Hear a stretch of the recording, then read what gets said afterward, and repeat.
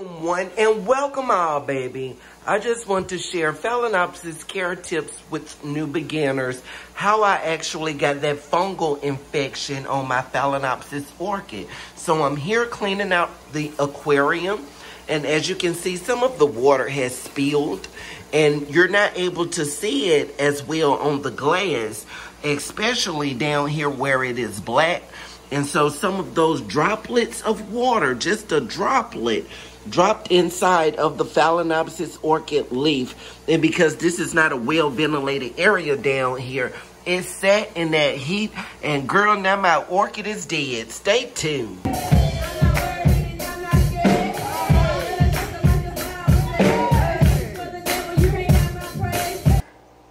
Welcome on back, Fel Pals. So now you are looking at my Cattleya Featherray Misty that I lost back in December because it was under the aquarium in the same location as the previous segment with the Oncidium.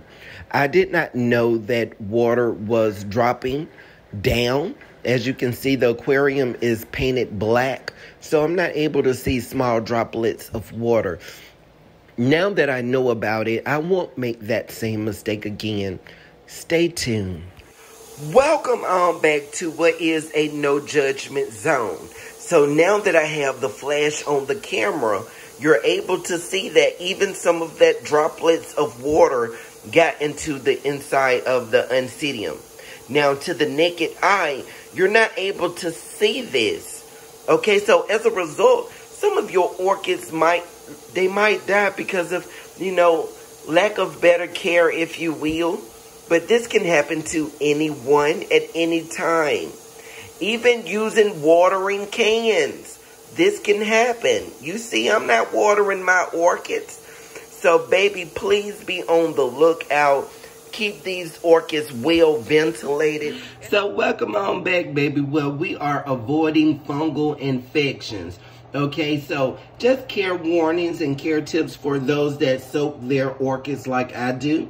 You know, instead of using a watering can, which is this right here, I'm just soaking them. I just put them in bloop and let them soak. However, when I pick them up, I will show you water droplets can still splash.